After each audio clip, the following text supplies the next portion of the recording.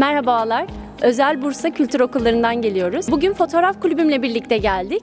E, Foto Fest'in 9.sü düzenleniyor. 8.sine de gelmiştik ve e, çok güzel eserler gördük. Biz çok mutluyuz burada olmaktan. Onlarca eser vardı burada ve hepsini çok beğendik. Buraya gelmeden önce 120 tane fotoğrafım vardı. Geldiğimde 300'lere çıktı. Yani o kadar güzel fotoğraf yeri burası. Çok mutluyum. Buradaki fotoğraflar gerçekten çok güzel. Bu okulda bu kulüpte olmaktan çok mutluyum. Çok güzel fotoğraflar var. İnşallah hep böyle güzel fotoğraf yerlerine gideriz. Seneye buradaki festivallere de ben de katılabilirim.